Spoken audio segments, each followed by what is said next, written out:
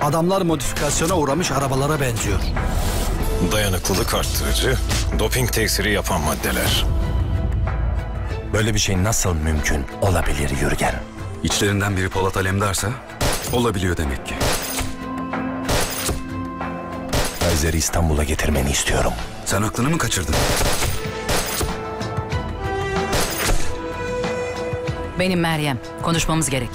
Yusuf Kuzuzade operasyona bizzat eşlik ediyor.